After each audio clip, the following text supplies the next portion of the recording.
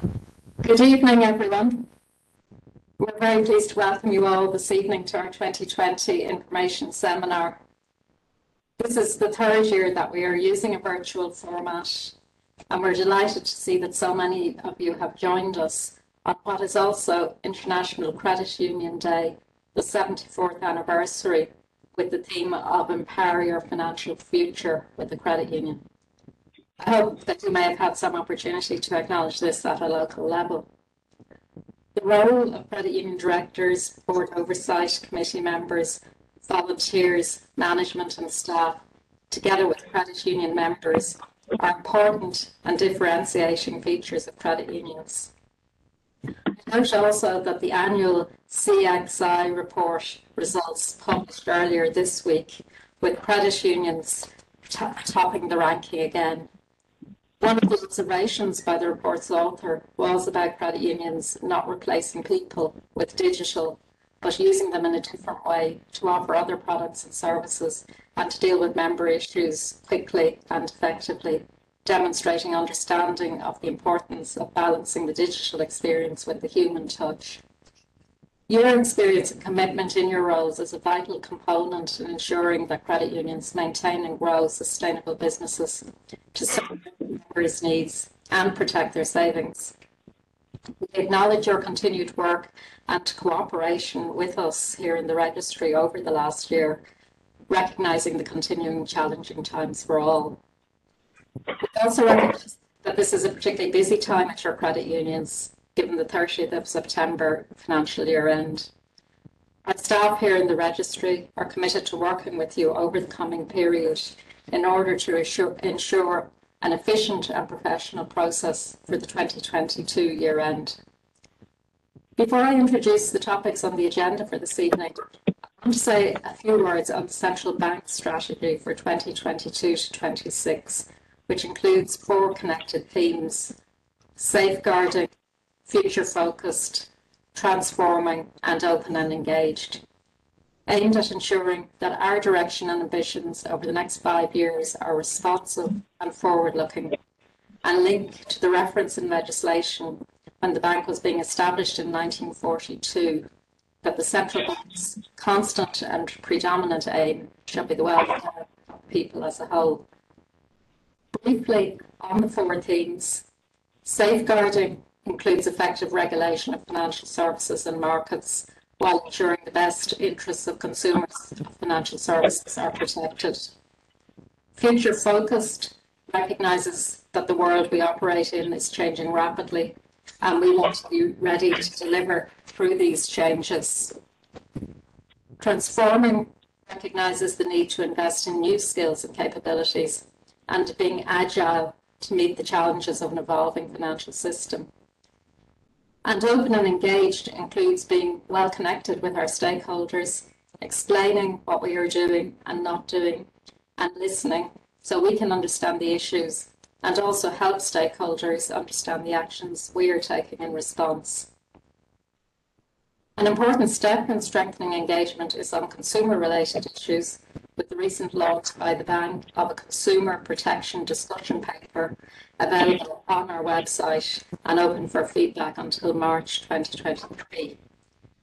Its purpose is facilitation of two-way discussion and engagement with a range of interested parties to enhance broader understanding of the role and work of the central bank in terms of consumer protection and to inform the planned review of the Consumer Protection Code the registry is committed to being open and engaged, and this annual information seminar is one part of our engagement and communication strategy. Other aspects of our engagement approach include our regular meetings with individual credit unions, representative bodies, Department of Finance, CUAC, and other key sector stakeholders, as well as our regular publications, including the Financial Conditions of Credit Unions statistical series our credit union newsletter, a second edition of 2022 due to issue very shortly, and our regular circulars, all of which are intended to support and inform you on a range of supervisory and policy areas. So turning now to the agenda for this evening, and a number of my colleagues in the registry will present. some of whom you may know from previous years. They are Owen McGrain, Mark Ward, John Marr, James McCauley, and Nuala Lawless. The topics that will be covered are firstly, year end 2022, secondly, climate change, thirdly, some policy snapshots, including MPCAS and a lending overview, and fourthly, central bank portal and information update. The presentations will be followed by a Q&A session, which will be facilitated by David Keelty, and then Eamon Clark will wrap up the session. If you have any questions on any of the topics covered after this evening, please feel free to contact our office by email and we will respond to you. The full session, including the Q&A, will take about an hour and a quarter, so we will finish up by 6.30 p.m. We are recording the presentations and they will be available on our website in due course. Copies of the presentations will also be available on our website and a link will be provided to your credit union. So at this stage now, I'll hand over to Owen McGrain for the first of the presentations on 2022 year end. Thank you. Thank you, Elaine.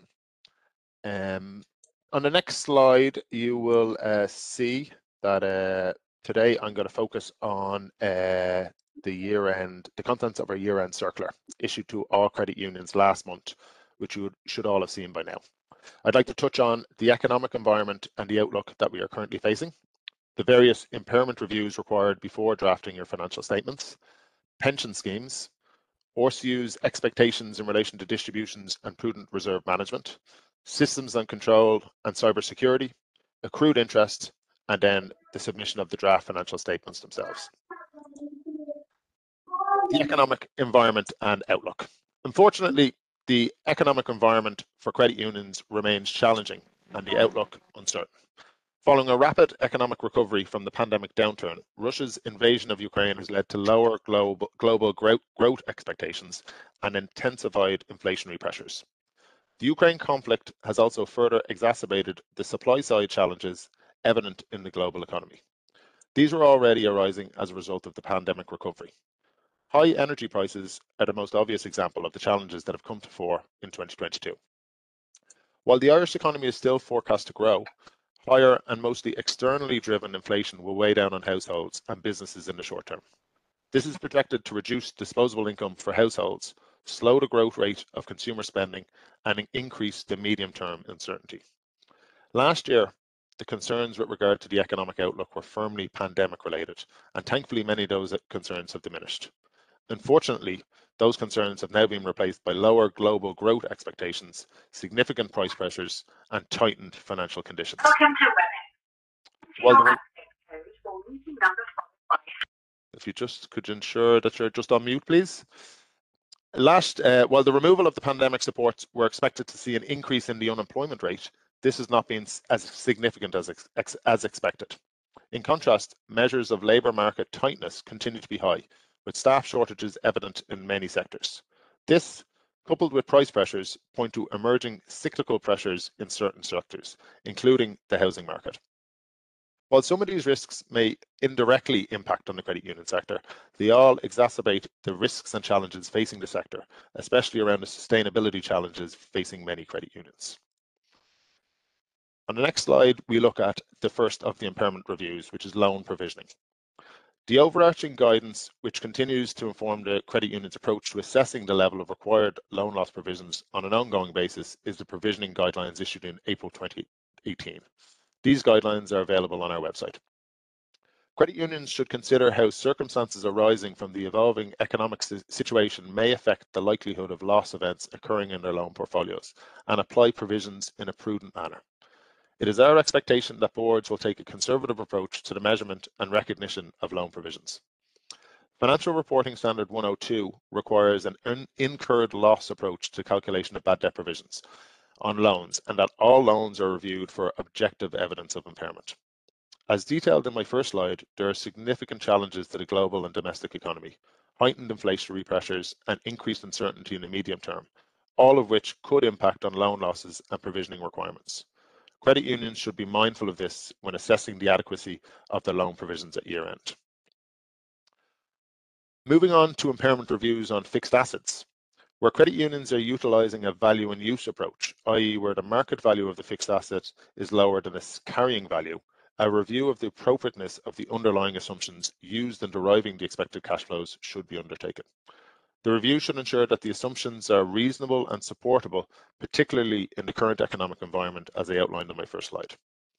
The review of investments is another critical part of the year-end process. The accounting policy adopted by the Board of Directors of a credit union for the valuation of investments must comply with the relevant sections of the Credit Union Act 1997. We are expecting some credit unions to report investment losses this financial year.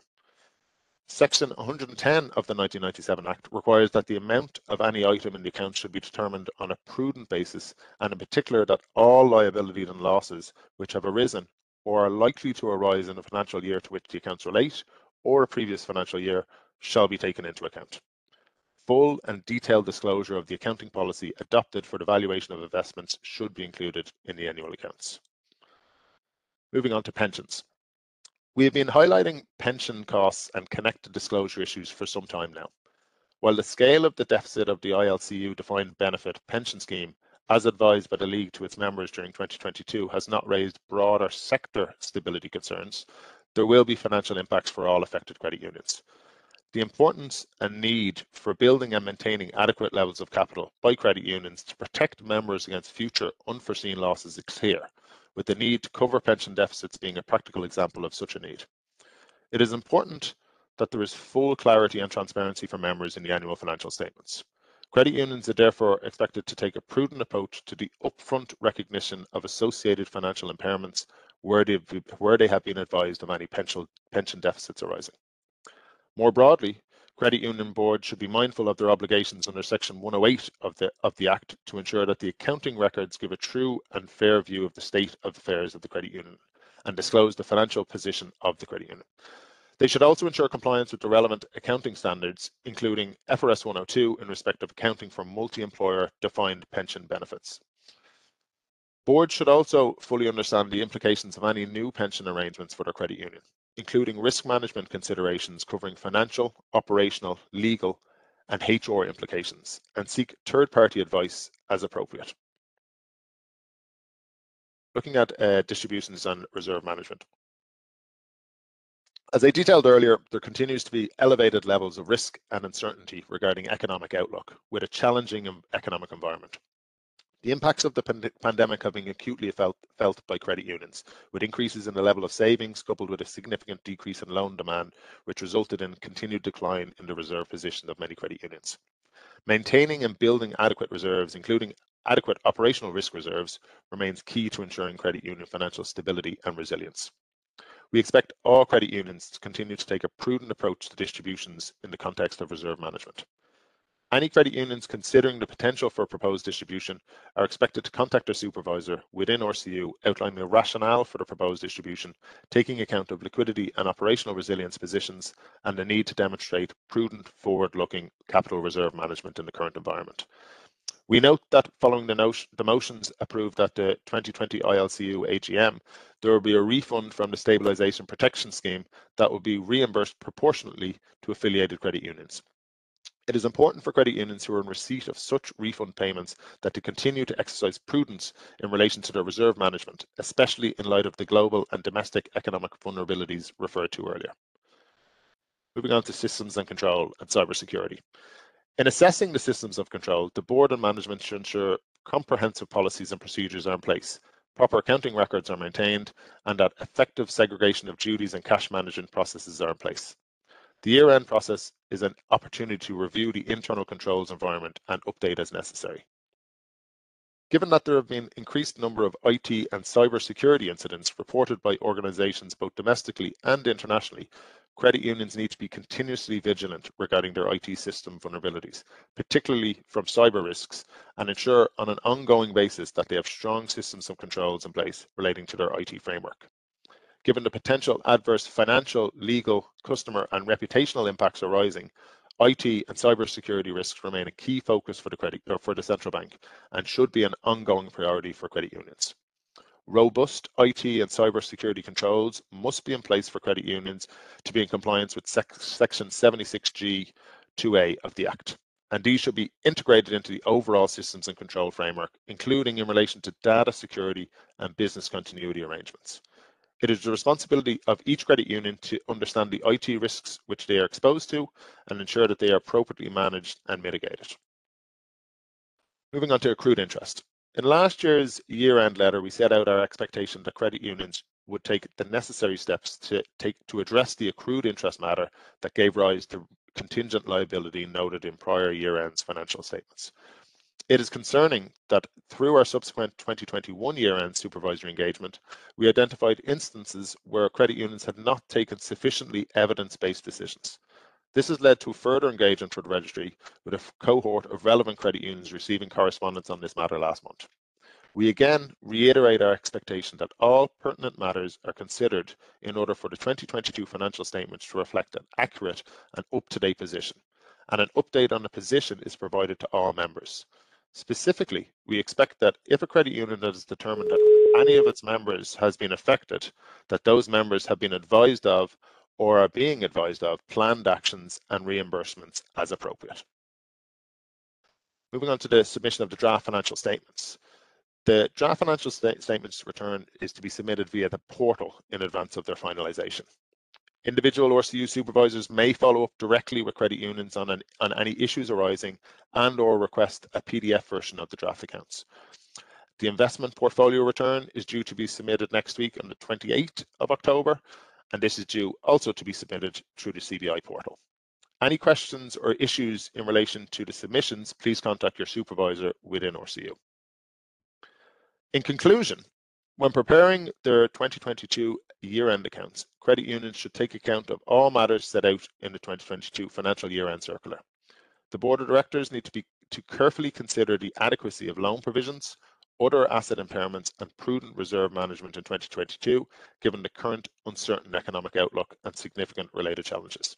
Maintaining and building adequate levels of reserve including operational risk reserves, remains key to ensuring credit union financial stability and resilience. Credit unions should take a prudent, conservative approach to the 2022 year end in terms of distributions, reserves management, provisions, impairment reviews, liquidity, and overall resilience.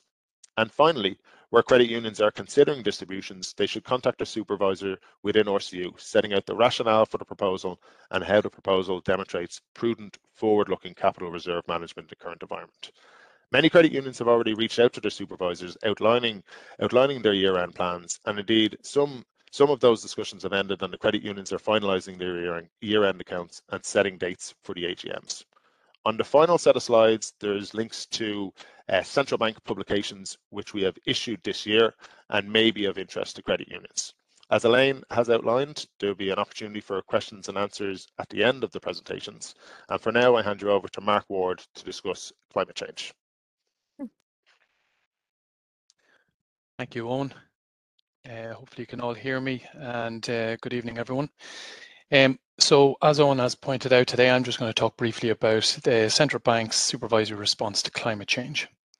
So if we uh, move on to the next slide, you'll see the um, areas that I'm going to cover uh, today very briefly. And I suppose we're going to start with the the, the central bank strategy on, on climate change and the overall strategy from the central bank.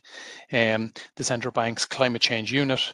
Um, I'm just going to, I suppose, recap a little bit on the supervisory expectations correspondence that was sent to uh, to to all, um, and then talk a little bit about uh, the credit union engagement that we are planning in quarter four of this year.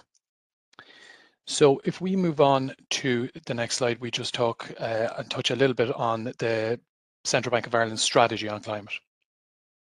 So as you can see, the four pillars of the strategy are transforming, open and engaged, safeguarding, and future focused. So while a focus on climate change is applicable to all four pillars, the future focus pillar is really aimed at the strengthening of the resilience of the financial system to climate related risks and its ability to support the transition um, to a low carbon economy. So the important elements I think to look at here really are um, both the physical and transition risks, and, and, these are going to be two elements that in our engagement with the sector uh, later in the year, uh, credit unions are really going to have to focus on. So I suppose physical risks are, are really the effects of climate change causing extreme weather events and I suppose the, the knock-on effects that can have. And I think a, a recently good example of this is um, when the River Rhine in Germany, um, uh, when there was extreme drought earlier in the year, causing significant disruption to supply chains and all the knock-on effects that that uh, would have um, and uh, to the financial sector. And uh, when we talk about transition risk, I suppose we talk about business sectors moving to a more sustainable and lower carbon uh, approaches. Um, so I suppose a good recent example of that um, would be the pressure um, that is being applied on the farming sector at the moment to reduce carbon footprint by uh, up to 25%. So what will be the effects for them in transitioning um, to meet those targets? So if we move to the next slide, just to talk a bit about the, the, the climate change unit. So I suppose, uh, um, you know, considering, I suppose, the, the, the overall strategy of the bank uh, in 2021, the central bank uh, established a dedicated climate change unit within its internal governance structure. Um, and this was really to help steer the agenda and bring additional focus uh, to our work in this area. So main objectives uh, of this climate change unit was to embed over time climate risk and sustainable finance considerations into the day-to-day work of the central bank and to ensure cohesion and consistency in the overall approach. Um, the, uh, the Climate Change Risk and Sustainable Forum um, uh, has been uh, um, set up um, this year and will meet twice yearly um, and the Credit Union Managers Association uh, are the, uh, the, the sole kind of representatives on that forum um, for the credit union sector.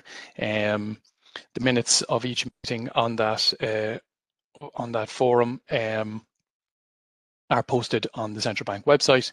Um, and the for forum really brings together climate change experts, industry representative bodies, regulated firms, and central bank representatives. And it's chaired by uh, Deputy Governor of the Central Bank, Sharon Donnery. So that's really, as part of the climate change unit, that is, I suppose, the external stakeholder engagement that the climate change unit um, has brought to bear. Um, uh, and and is using that for for external engagement. Um, if we move on to the next slide. Um, we're just going to touch um, a little bit on, yeah, there we go. Uh, we're just going to touch a little bit on um, the, the correspondence that was issued to all uh, regulated entities in on the 3rd of November 2021. Uh, this was a letter issued um, by the governor uh, to all uh, regulated financial service providers, and it was in relation to the central bank's supervisory expectations um, uh, on climate and other environmental, uh, social, and governance issues. So, in summary, and probably not to recap, everybody uh, is probably well aware and, uh, of this letter, but in summary, these supervisory expectations that were set out in the letter really focused on five key areas: um, governance, risk management framework, scenario analysis, strategy, business model uh, risk and uh, uh, disclosures. And they were the five uh, main areas touched on there. So if we move to the next slide, I think really moving on from that um, correspondence that was sent, I suppose we now, as as the registry of credit unions, really needed to think about our engagement with the sector. And I think um, our first focus is really to try and establish what the exposures to climate change um, and and similar risk is uh, within the sector. So um, the the engagement that is planned is it was originally planned for quarter three of this year, but I suppose we did take uh, a view of all of the different asks that have been made of the of the credit union sector um, uh, in quarter three, and particularly, I suppose, year end uh, and the investment uh, return that is currently with credit unions. And I suppose taking that all of that into account, uh, we have decided that we would issue um, this engagement to the sector in December 2022.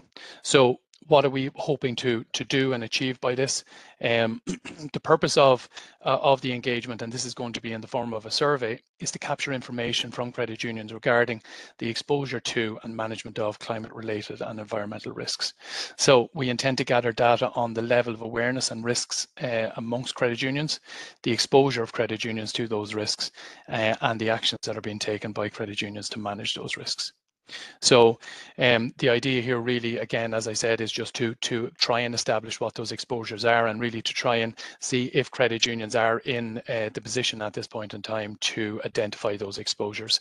Um, and then uh, lastly, really what are credit unions doing to, uh, to tackle those, those potential risks.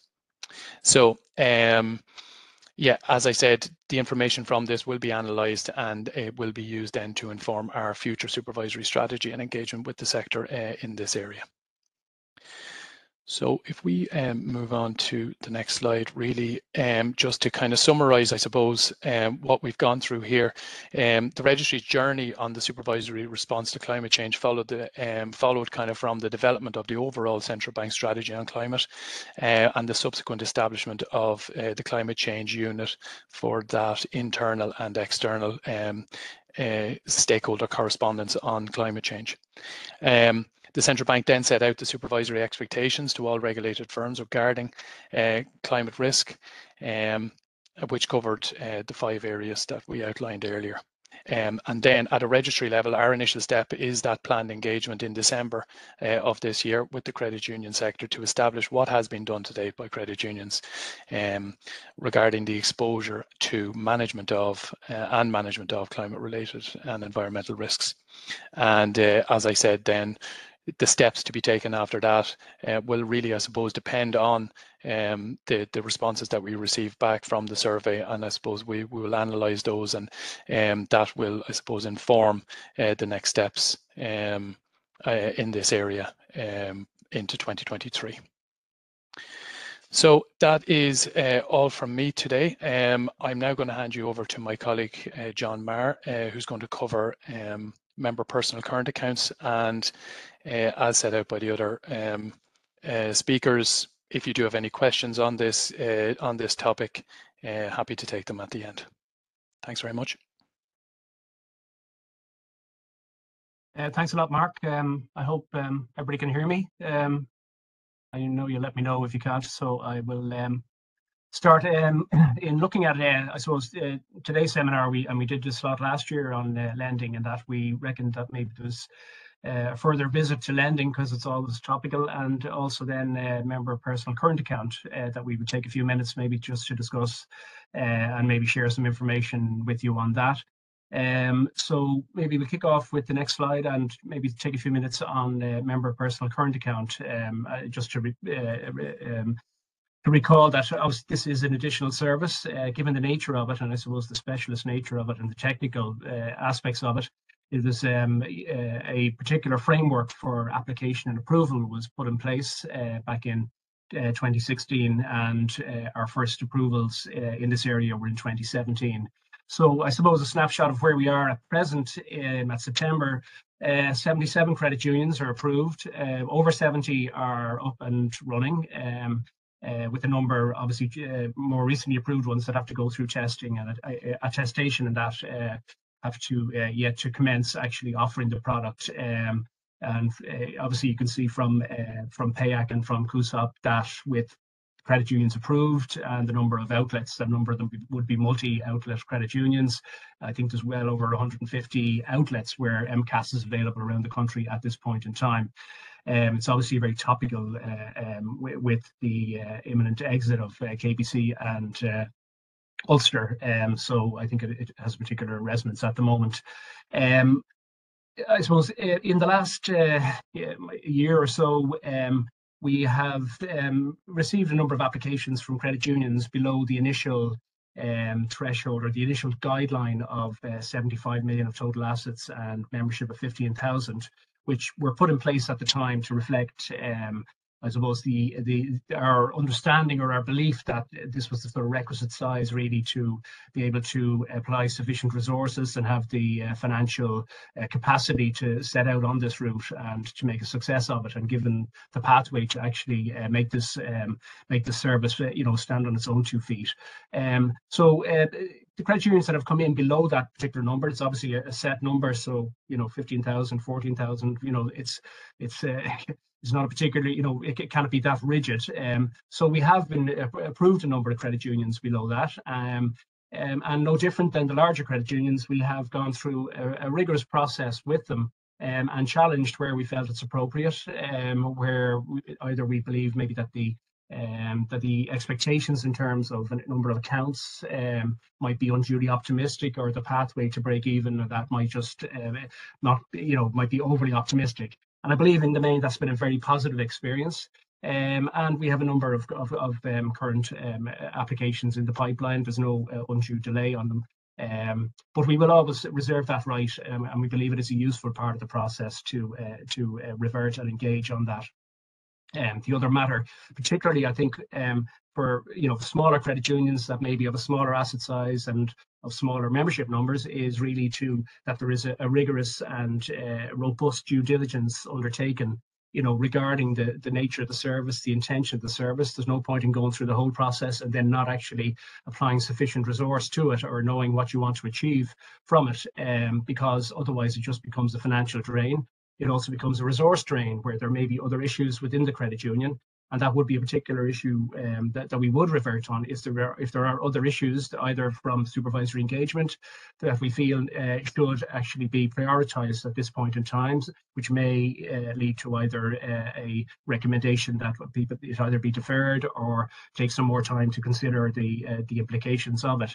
And um, something like the KBC and Ulster Bank it's obviously it's a, an opportunity uh, in one respect but current account opening will still be a and current account service will still be a significant um, service after the uh, the exit of those incumbents. So, um, you know, regardless of the size, as I said, we will we will we will uh, engage, we will challenge uh, in a constructive manner in relation to uh, to MCAS and uh, notwithstanding the uh, the service provided by PayAC and CUSOP, which is significant, we believe there is a significant uh, resource challenge for credit unions to do this successfully, um, given that there are reputational issues, reputational risks involved in it, um, and uh, and we believe that's critical to uh, you know a new service for for many credit unions. So um, really very little more I can say about that at, at, this point in time. There is more information available uh, on the site on applying, and I know the providers in, in the form of uh, PayAC and CUSOP provide um, provide significant support services for um, for prospective credit unions.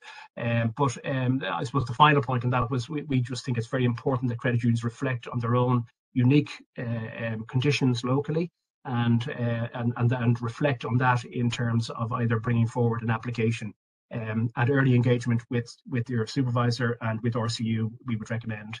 So that's really all I have to say on MCAS. Happy to take any questions or on it later um, as far as part of it. So if we might just move on to the, the uh, lending slides if we can. Um, so the uh, the first uh, part of it, maybe in, in, terms of lending, last year uh, when we did a, a, bit on this session, we looked at really uh, how significant credit unions are as part of the consumer lending um, market in Ireland. And we, we, we, you know, we, we made an effort, a reasonable effort, we believe, given our access to the information on on the the level of of um, credit union share in aggregate of that market, which tends to be in the uh, sort of uh, 35 to 40 percent mark, and we would believe that that has not changed significantly.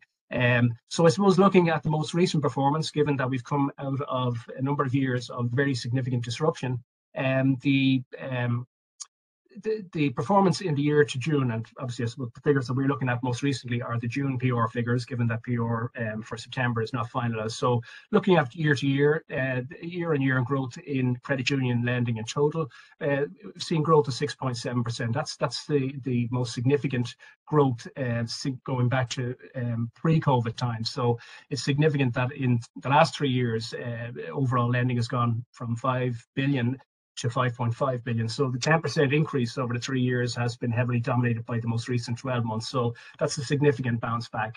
Um, I suppose there's significant variations across the sector. Um, if I was to um, stated that the uh, looking at the actual numbers that there's about 50 credit unions would have experienced double digit growth year on year you know so that's a significant pull in terms of pulling that figure up and at the other end of the, of the spectrum that there would be approximately 30 credit unions that uh, would have either had a, a static uh, growth or negative um, experience in in the uh, in the 12 months. So obviously your own position within that is something that you can will be able to reflect on um, obviously as the year uh, as we go through year end and as you get access to the financial conditions publication that uh, Elaine referred to, which I think is a very valuable um, a very valuable publication in terms of looking at um, your peer group in terms of asset size and also then you know as a comparator of sorts. So a couple of trends that are significant trends that I suppose looking a year on from last year that continue to be significant. Um, first one is that um, longer maturity loans, and in particular in the five to 10 year category, are, have become quite a dominant category uh, within overall credit union to the extent that it's now the second biggest category of lending after three to five year. So it's overtaken one to three year over the space of the last two to three years uh, in terms of, of uh, I suppose, uh, prominence within credit union lending. Um, it was a particular part of the change in regulations dating from uh, start of 2020. Uh, but I suppose the trend had had started, but it has been accelerated by the lifting of the restriction on the five to 10 unsecured lending category. Um, and it, it, it, dwarfs, as I said, a number of the other categories at this stage, and it dwarfs even business lending and um, uh, and house lending. So it's a very significant part of the business, and it looks like a high number of credit unions have uh, have made uh, you know the the conscious decision to actually um, to focus on that area. Um, so uh, the second aspect is larger value loans. Obviously, um, okay, but this year I suppose the first year in terms of seeing significant inflation, but there would there would be a, a marked increase in the larger value loans, and that would be related to the longer maturity uh, loans, and um, it, you know, and that would be even excluding the impact of house loans, which is relatively minor in the overall scale of things.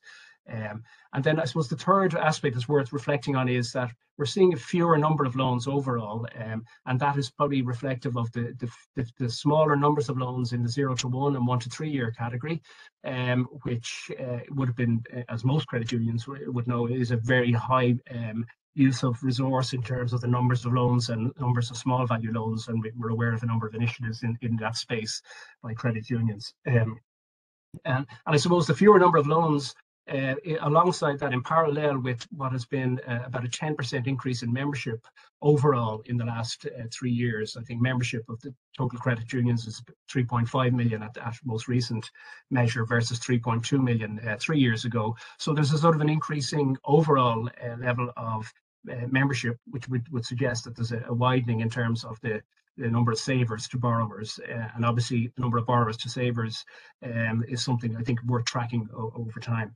Um, thankfully, I think uh, there has been a decline in arrears uh, in over over um, uh, in uh, greater than nine years bucket. So I think that's that's reassuring from the point of view that credit unions are moving into these newer category and either higher value loan area. And it's at this point it's not showing any particular impact or any adverse impact. Obviously, it's quite early in the cycle when you're looking at five to ten or even longer than ten year lending. Um, but that, that's, uh, I think, is a point worth making.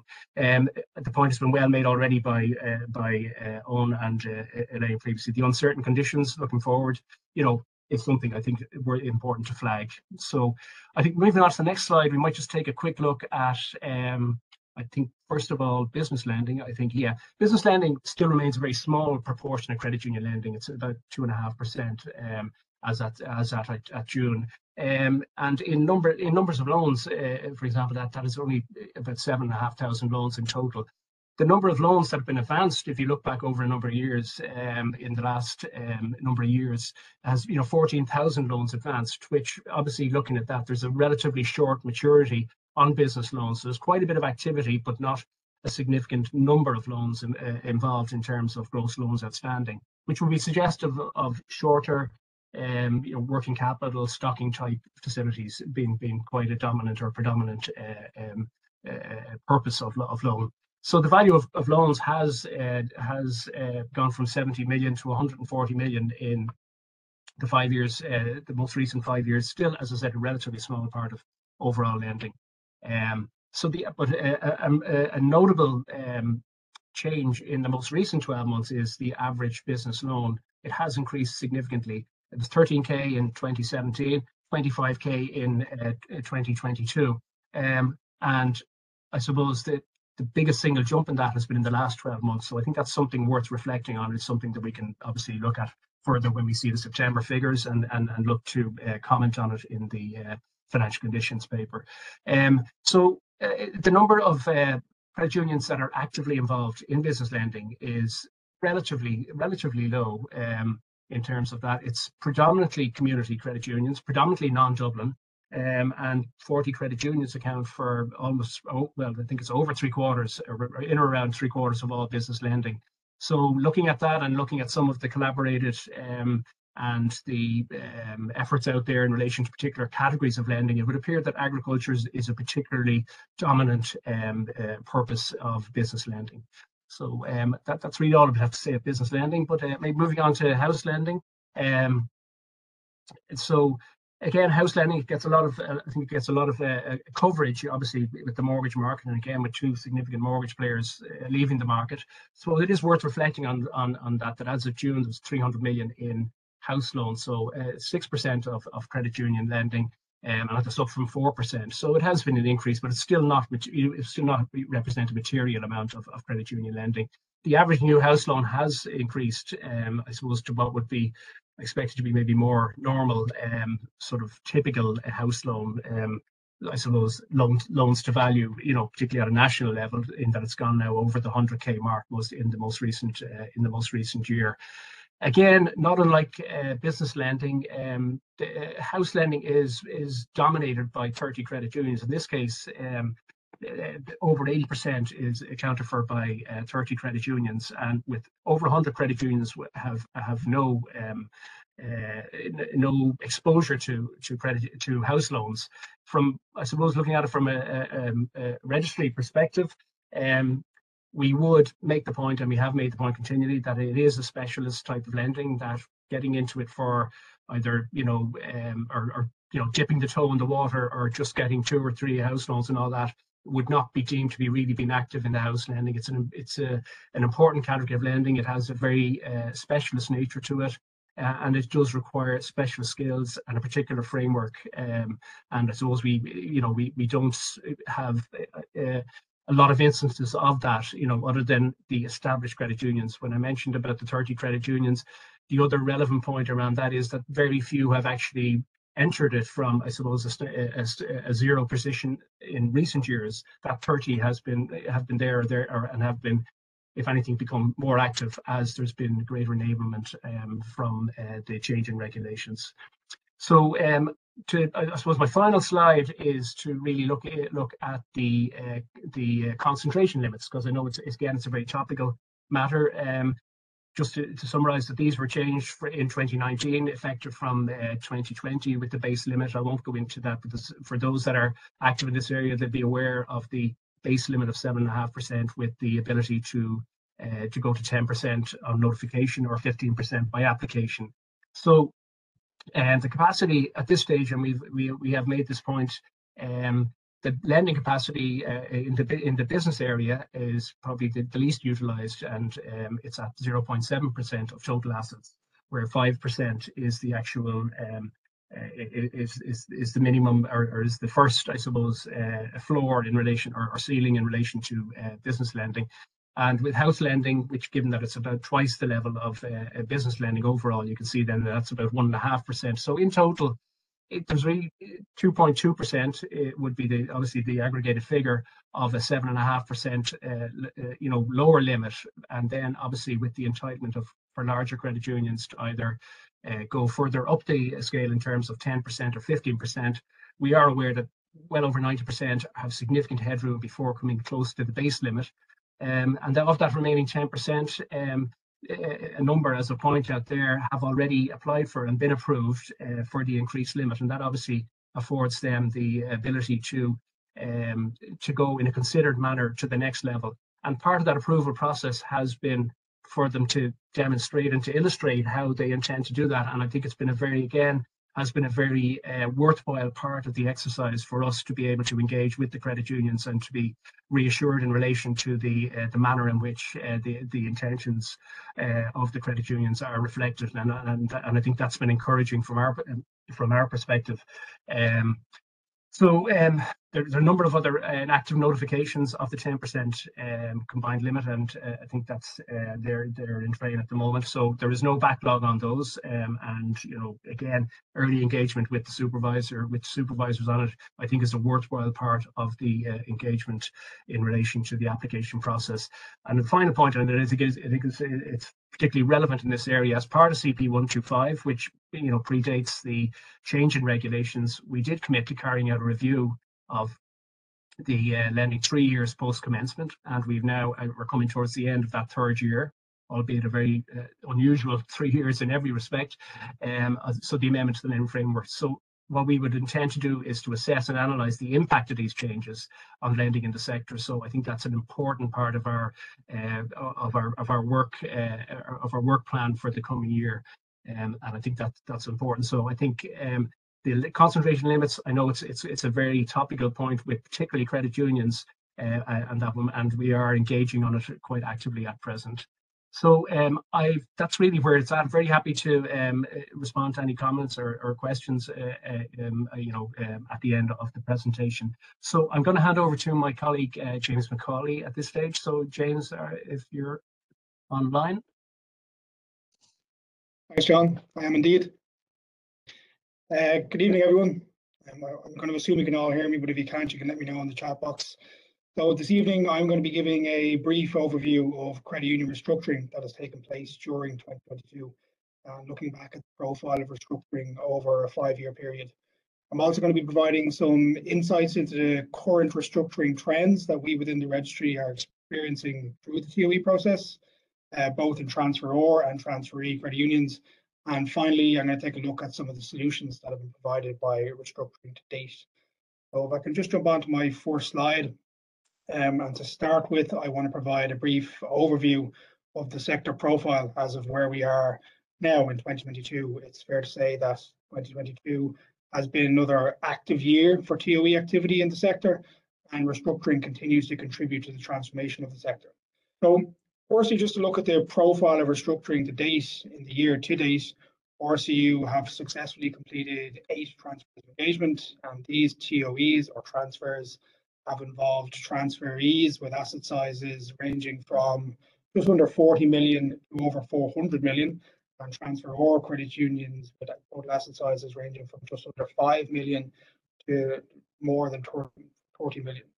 So I suppose what you can see from that is the variance in asset sizes here for us demonstrates the broad range of both scale and complexity that we continue to experience when we engage with both transferee and transferor credit unions. So turning my attention now to the, the five-year profile, I'm restructuring in the graphic at the bottom of the slide. Uh, you'll see that that profile there, starting back in 2018 and up to the year to date in 2022. So you'll see TOE projects have been quite stable overall, with around 16 completing in the in, in 20 back in 2018 and moving steadily across the table to 14 completing in 2021. As I mentioned already, eight in the year to date in 2022. Uh, also worth noting that we have a number of additional projects as of now in our active pipeline that are due for completion in the, in the next few months. You'll also note the liquidation of one credit union completed in 2020 and a more recent voluntary dissolution completed in 2021 of another credit union. So whilst the number of these TOE projects completed in these years has remained stable, we've seen quite a variance, as I say, in relation to the reasons and the motivating factors for these TOEs, with governance issues, financial performance, strategic direction, and in some cases, operational or staffing issues giving rise to credit union's decision to enter into a TOE process. I'll explore some of these factors more when I come to discuss the trends that we've been seeing in restructuring shortly. For now, of the TOEs completed during these past five years, we noted that 14% of those have received private sector funding to support that completion of a transfer.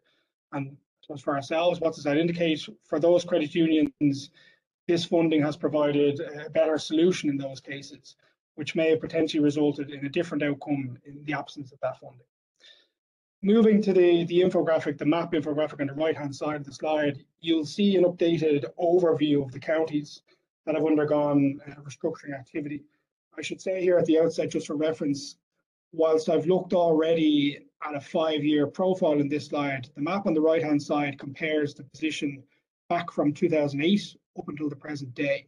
So back in 2008, the number of credit unions within the sector was 419. That has reduced now, as you can see there, 204 as at today's date, representing a reduction of about 51%.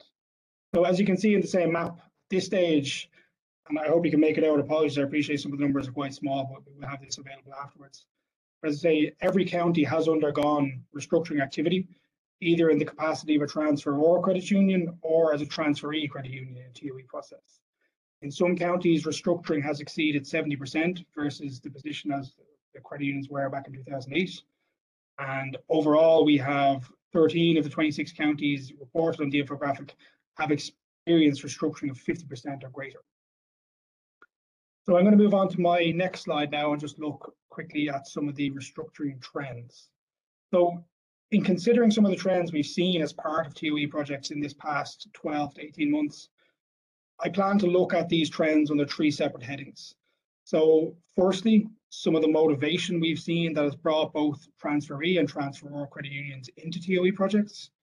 Secondly, looking at some of the solutions that restructuring has provided to those credit unions who have entered into and successfully completed TOE projects.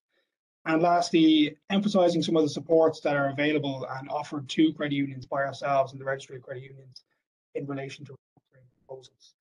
So turning to motivation first, this obviously differs from credit union to credit union, but one of the trends we've experienced in recent TOE proposals is a more strategic emphasis to proposals from credit unions. So what do I mean by that? We see examples of strong, well-positioned credit unions approaching us here in the registry and looking to use restructuring as a strategic enabler for members of both credit unions involved in the process. So this has included plans to restructure in order to better position a credit union to apply for and offer MPCAS services at an increased scale to members in the future as well as some examples of credit unions looking for an improved online and digital service offering to its members as a motivating factor in entering into a TOE process with another credit union. So these examples have members' interests at the core of their proposals, and there's some of the more positive examples that we've seen.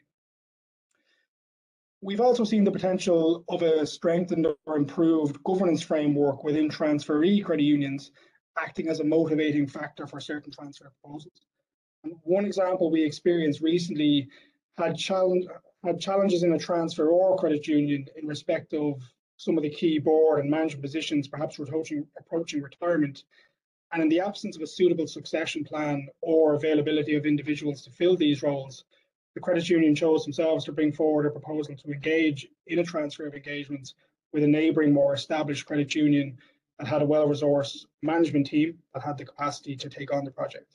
So when we look back and review these TOE projects, such as those I've mentioned, we've seen examples of the successful overlay of management and board structures in a combined entity, as well as the ability for both credit unions to benefit from a strengthened governance and management capacity in the overall combined entity.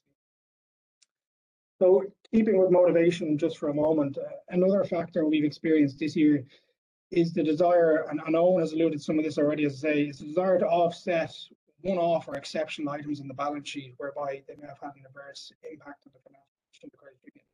So as they, Owen has discussed some of these during his presentation as part of the financial year end, but the impact of these issues obviously differs at a sectoral level versus an individual credit union level, some credit unions. But in limited cases, these issues have been what we might consider a push factor for restructuring activity which has encouraged the credit unions in these cases to expedite the conversation in relation to restructuring and their overall strategic direction.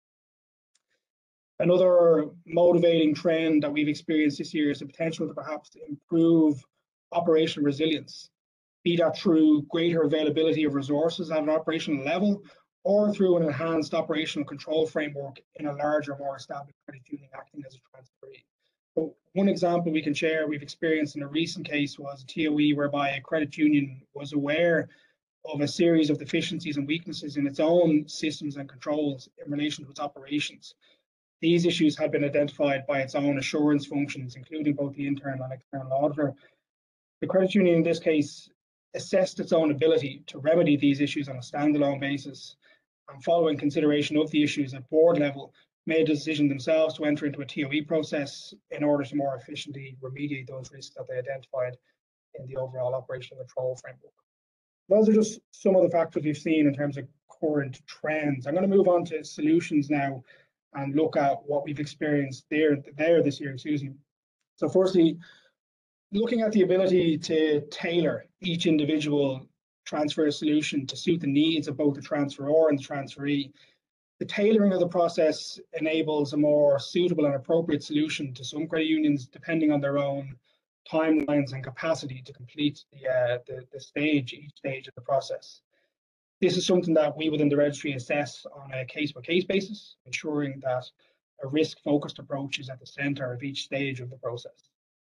I suppose keeping with the, the subject of the stages within the TOE process, the phased approach that we take to transfers still offers the most comprehensive solution in terms of both identification and remediation of risk in the early stages of each TOE process. This approach ultimately means that as credit unions move through the process, they should have remediated the more material issues early on and a better position themselves to present these TOE proposals to their membership at the, at the latter stages. The other solution that TOEs have provided has been to aid and resolve where credit unions have identified weaknesses in their own governance frameworks that they've been unable to resolve themselves.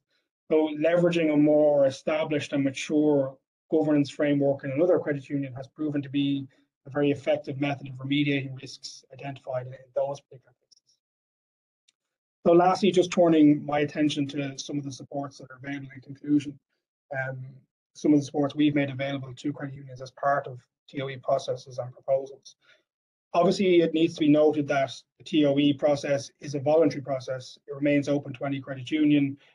Our team on the intervention and restructuring team within the registry has resources available to offer support and questions that boards or managers may have in relation to the process, in relation to the workload, or in relation to timelines involved. We're happy to meet with credit unions and discuss general questions and proposals they may have. But given the time of year, and Owen has alluded to this part of his presentation, as credit unions are in the midst of their own year-end processes and looking at the financial performance and future direction of each of their own credit unions, we would ask that any credit union considering potential transfer or restructuring activity make contact with ourselves within the registry uh, my own contact details are available there on screen for anybody that wants them, or they can they can email the, the general RCU inbox and the message will reach us. But the, the direct dial is there on screen if anybody wants to ask me any questions in relation to transfer engagement activity. So I'm going to leave it there and I'm going to hand you over to my colleague Nuala Lawless, who's going to finish up by talking about the portal. Just bear with me one moment.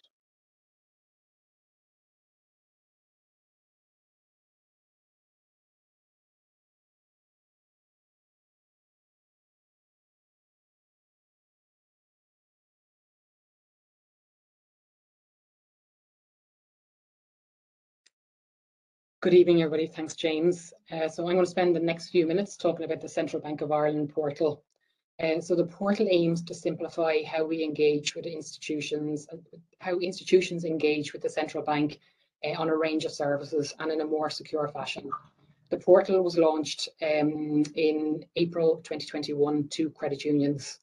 The services uh, you see in front of you are the services currently available to credit unions uh, on the portal. Uh, I'm going to uh, run through um, these services over the next few minutes.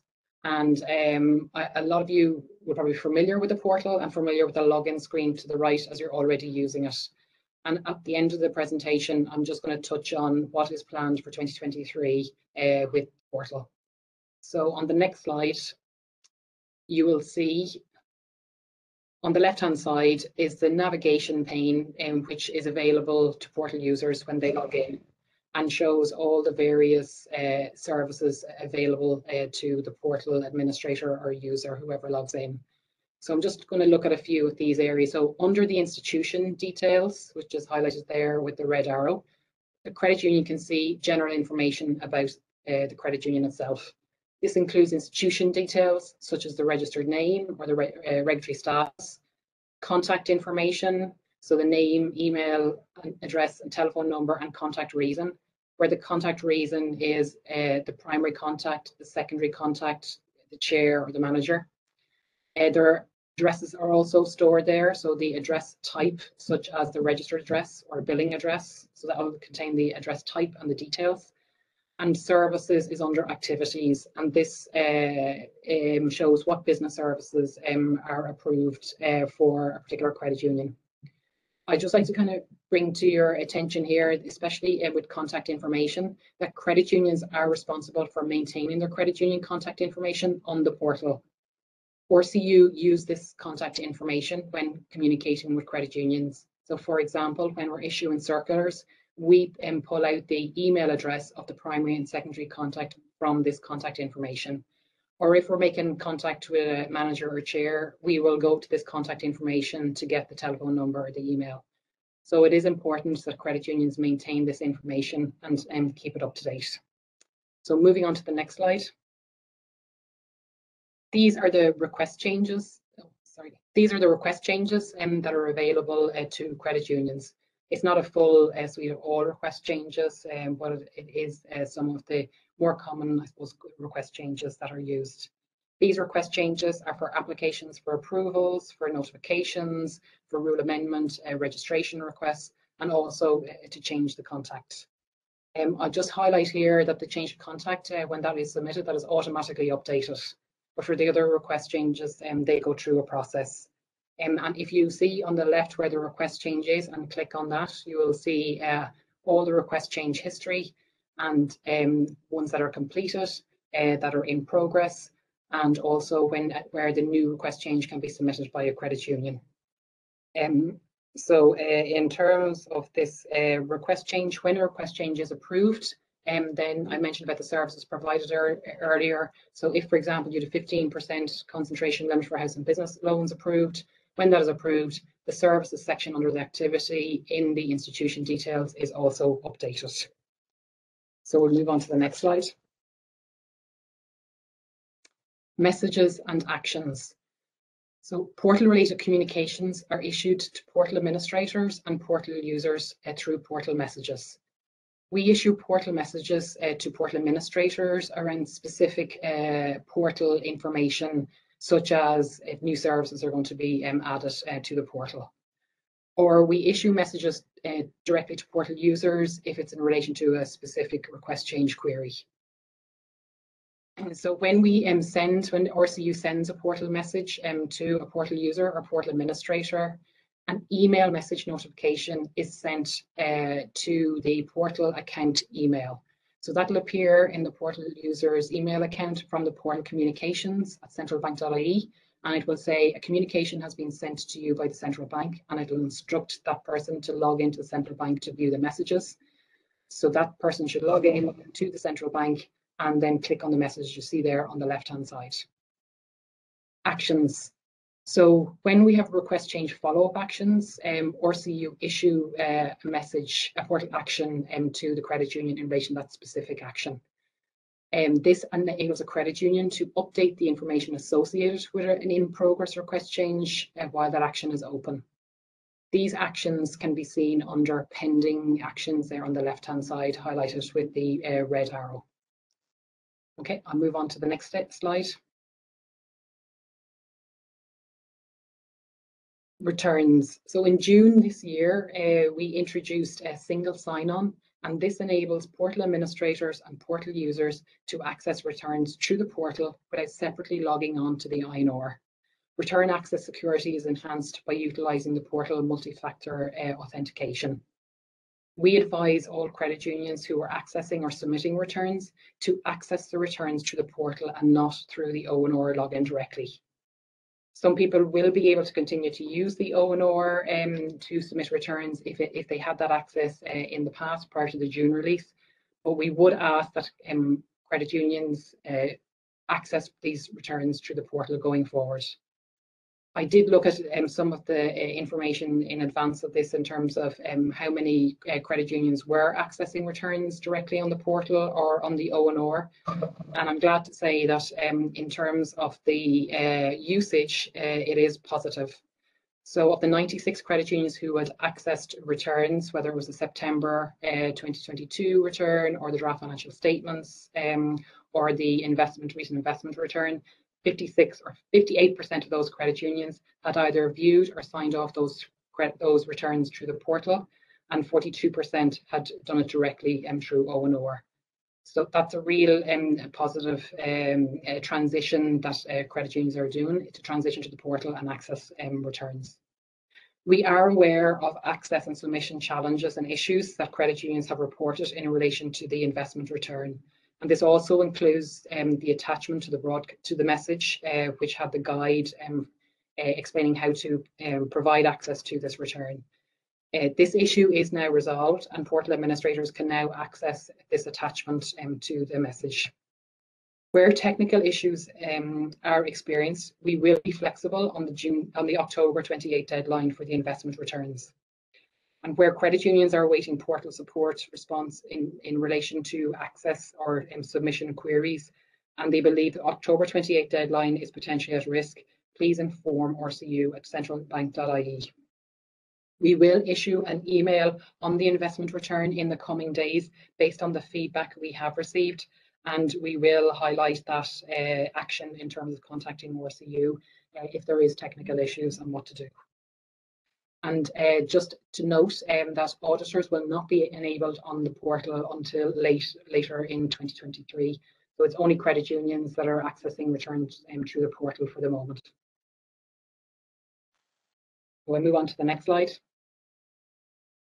Um, so the uh, portal administrator uh, is responsible for your credit union's use of the portal, including the management of portal users' access and permissions and they must ensure that permissions are appropriate for the portal user role. Um, typically, it's a credit union manager who is the portal administrator. All credit unions must have a portal administrator in place at all times because as you can see, they'll be providing access, they'll be managing the access and portal related communications are issued to portal administrators. Uh, positive take up um, of the credit unions um, has been um, observed uh, and portal administrators have been given access to the various services I've already mentioned, including request changes, messages, etc. Uh, for example, request changes submitted, 91% of credit unions have submitted one or more request changes. And as I also mentioned earlier, access to returns um, has been 58% uh, at a point in time last week. So again, that's very positive. So I move on to the next slide. Uh, so I'm briefly going to touch on the portal changes in 2023. So we will be turning off the ONR logins at some point in 2023. And access to all ONR services will only be permitted um, through the portal. Therefore, we would strongly urge you to um, access returns uh, through the portal as we've been communicating uh, in our recent communications. Fitness and probity individual questionnaire um, services will also be moved from the ONR to the portal in target H1 next year. And you will see an increased usage of portal messages and actions in 2023. So if we move on to the next page. So finally, uh, in a quick summary is uh, if you, we would ask the credit unions to access the ONR returns and through the portal. Uh, credit union portal administrators are responsible for managing portal users' access and permissions, and this includes access to returns through the portal. And we would ask that you provide the relevant access in a timely manner. Keep your contacts up to date on the portal um, to ensure that you do receive central bank communications. And portal related communications uh, will are issued to portal administrator and portal users, and they will increase uh, next year. And finally, portal support. There is a portal help section on the Central Bank of Ireland portal webpage, and I've um, included a little picture there to the right. It has a lot of useful information um, in it to help um, navigate um, through the portal. So have a look at that or um, contact portal support if you have any queries.